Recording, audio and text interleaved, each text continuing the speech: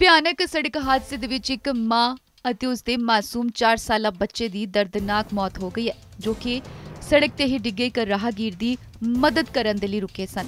ਦਰਅਸਲ ਪਤੀ ਪਤਨੀ ਆਪਣੇ 4 ਸਾਲਾਂ ਦੇ ਬੱਚੇ ਦੇ ਨਾਲ ਬਾਈਕ ਤੇ ਸਵਾਰ ਹੋ ਕੇ ਉਸ ਦੀ ਦਵਾਈ ਲੈਣ ਜਾ ਰਹੇ ਸਨ, ਤਾਂ ਰਾਹ ਦੇ ਵਿੱਚ ਪਹਿਲਾਂ ਹੀ ਕੋਈ ਹਾਦਸਾ ਵਾਪਰਿਆ ਹੋਇਆ ਸੀ।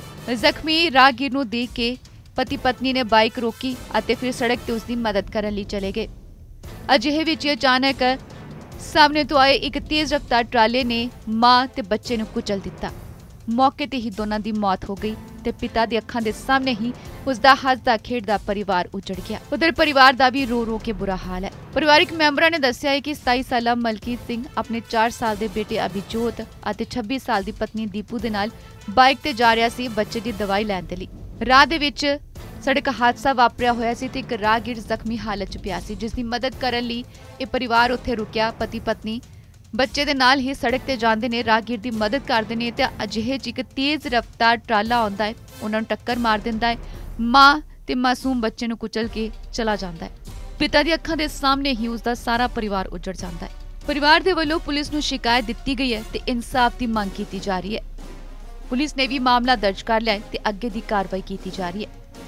ਇਹ ਮਾਮਲਾ ਅਬੋਹਰ ਦੇ ਹੀ ਇੱਕ ਪਿੰਡ ਤੋਂ ਸਾਹਮਣੇ ਆਇਆ ਹੈ ਜਿੱਥੇ ਪਤੀ ਪਤਨੀ ਆਪਣੇ ਬੱਚੇ ਦੀ ਦਵਾਈ ਲੈਣ ਜਾ ਰਹੇ ਸਨ ਤਾਂ ਅਚਾਨਕ ਕਿਸੇ ਸੜਕ ਤੇ ਡਿੱਗੇ ਰਾਹਗੀਰ ਦੀ ਮਦਦ ਕਰਨ ਲਈ ਰੁਕੇ ਤਾਂ ਮਾਂ ਤੇ ਬੱਚੇ ਤੇ ਟਰਾਲਾ ਚੜ ਗਿਆ ਜਿਸ ਕਾਰਨ ਉਹਨਾਂ ਦੀ ਦਰਦਨਾਕ ਮੌਤ ਹੋ ਗਈ। ਫਿਲਹਾਲ ਉਹਨੇ ਪਰਿਵਾਰ ਇਨਸਾਫ ਦੀ ਮੰਗ ਕਰ ਰਿਹਾ ਹੈ। ਦਵਾਈ ਦੇ ਲੈਣ ਜਾ ਰਹੇ ਸੀ। ਲੈਣ ਜਾ ਰਹੇ ਸੀ। ਰਾਹ ਦੇ ਵਿੱਚ ਐਕਸੀਡੈਂਟ ਹੋਇਆ ਪਿਆ ਸੀ।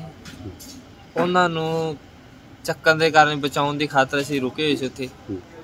ਤੇ ਉਧਰ ਕੋਈ ਵਹੀਕਲ ਆਇਆ ਫਿਟਰ ਉਹਨਾਂ ਦੋਨਾਂ ਮੇਰੇ ਬੱਚੇ ਨੇ ਤੇ ਮੇਰੀ ਪਤਨੀ ਨੂੰ ਪੇੜ 'ਚ ਲੈ ਲਿਆ ਜੀ। ਉਹਨਾਂ ਦੀ ਮੈਂ death ਹੋ। ਸਾਈਡ ਤੋਂ ਉਹਨਾਂ ਦੇ ਦੋਨਾਂ ਦੀ ਡੈਥ ਹੋ ਗਈ ਜੀ। ਮੌਕੇ ਤੇ ਬਠਿੰਡੇ ਤੇ ਜਾ ਰਹੇ ਸੀ। ਇਹ ਮੇਰੇ ਬ੍ਰਦਰ ਨੇ ਜੀ ਇਹ ਆਪਣੇ ਬੱਚੇ ਦੀ ਦਵਾਈ ਲੈਣ ਜਾ ਰਹੇ ਸੀ ਖੁੱਬਣ ਜੀ। ਤੇ ਰਸਤੇ ਦੇ ਵਿੱਚ ਇੱਕ ਸਾਈਕਲ ਦਾ ਐਕਸੀਡੈਂਟ ਹੋਇਆ ਸੀਗਾ ਜੀ। ਇਹ ਉਹਨਾਂ ਦੀ ਹੈਲਪ ਕਰਨ ਵਾਸਤੇ ਰੁਕੇ ਸੀਗੇ। ਜਦੋਂ ਇਹ ਦੂਜੇ ਪਾਸੇ ਗਏ ਹੈਲਪ ਕਰਨ ਵਾਸਤੇ ਤੇ ਉਧਰੋਂ ਇੱਕ ਫਿਟਰ ਰੇੜਾ ਆਇਆ ਜੀ ਤੇ ਉਹਨਾਂ ਨੇ ਫਿਟਰ ਰੇੜਾ ਨੇ ਲਪੇਟ 'ਚ ਲੈ ਲਿਆ ਜੀ ਇਹਨਾਂ ਦਾ ਬੱਚਾ 4 ਸਾਲਾਂ ਦਾ ਤੇ ਇਹਨਾਂ ਦੀ ਪਤਨੀ ਜੀ। ਉਹਨਾਂ ਦੋਵਾਂ ਨੂੰ ਅਸੀਂ ਜਦੋਂ ਬਠਿੰਡੇ ਹਸਪਤਾਲ ਲੈ ਕੇ ਗਏ ਜੀ ਉਹਨਾਂ ਦੀ ਡੈਥ ਹੋ ਗਈ। ਬੱਚੇ ਦਾ ਨਾਮ ਅਭਿਜੋਤ ਆ ਜੀ। ਇਹਨਾਂ ਦੀ ਵਾਈਫ ਦਾ ਨਾਮ ਹੈਗਾ ਜੀ ਦੀਪੂ ਰਾਣੀ। ਵਾਸੀ ਪਿੰਡ ਸ਼ੇਰਾਂ ਵਾਲਾ ਕੁੱਤਿਆਂ ਵਾਲੀ ਮਲੋਟ। ਇਹ ਤਾਂ ਠੀਕ ਨੇ ਜੀ ਇਹ ਤਾਂ ਸਾਈਡ ਤੇ ਸੀਗੇ ਜੀ। ਉਹ ਟੈਂਪੂ ਸਿੱਧਾ ਉਹਨਾਂ ਵੱਲ ਆਇਆ ਤੇ ਉਹਨਾਂ ਨੂੰ ਫੇਟ ਮਾਰ ਕੇ ਤੇ ਭੱਜ ਗਏ ਟੈਂਪੂ ਮੰਗ ਇਹੀ ਕਰਦੇ ਜੀ ਵੀ ਇਹਨਾਂ ਨੂੰ ਇਨਸਾਫ ਮਿਲਣਾ ਚਾਹੀਦਾ। ਆਪਣੀ ਪਤਨੀ ਦੇ ਨਾਲ ਆਪਣਾ 4 ਸਾਲ ਦਾ ਬੱਚਾ ਸੀ, ਅਭਿਜੋਤ ਸਿੰਘ। ਉਹਨੂੰ ਦਵਾਈ ਦਵਾਉਣ ਵਾਸਤੇ ਖੁੱਬਨ ਨੂੰ ਆ ਰਹੇ ਸੀ। ਤੇ ਰਸਤੇ ਦੇ ਵਿੱਚ ਇੱਕ ਮੋਟਰਸਾਈਕਲ ਤੇ ਸਾਈਕਲ ਵਾਲੇ ਦਾ ਐਕਸੀਡੈਂਟ ਹੋਇਆ ਸੀ। ਇਹ ਆਪਣਾ ਮੋਟਰਸਾਈਕਲ ਰੋਕ ਕੇ ਤੇ ਉਹਨਾਂ ਨੂੰ ਬਚਾ ਰਹੇ ਸੀ।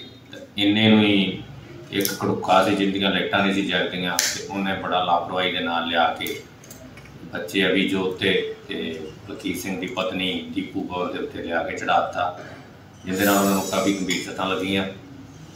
ਬਾਅਦ ਦੇ ਵਿੱਚ ਇਲਾਜ ਕਰਾਉਣ ਵਾਸਤੇ ਉਹਨਾਂ ਦਾ ਬਠਿੰਡੇ ਗਏ ਤੇ ਜਿਹੜੀ ਮਤਲਬ ਰਸਤੇ ਦੇ ਵਿੱਚ ਹੀ ਉਹਨਾਂ ਦੀ ਮੌਤ ਹੋ ਗਈ ਸੀ, ਜਿਹੜਾ ਡਾਕਟਰ ਸਾਹਿਬ ਨੇ ਉਹਨਾਂ ਨੂੰ ਮ੍ਰਿਤਕ ਘੋਸ਼ਿਤ ਕੀਤਾ ਜਿਹਦੇ ਸਬੰਧ ਦੇ ਵਿੱਚ ਮੁਕੱਦਮਾ 304 ਦੇ ਵਿੱਚ ਦਰਜ ਕਰਤਾ ਪੇਸ਼ ਕੀਤੀ ਜਾ ਰਹੀ ਹੈ। ਜਿਹੜਾ ਕੜੋਕੇ ਵਾਲਾ ਅੱਜ ਤੱਕ ਨਹੀਂ ਮਿਲਿਆ। ਇਹਨੂੰ ਜਲਦੀ ਗ੍ਰਿਫਤਾਰ ਕੀਤਾ ਜਾਵੇਗਾ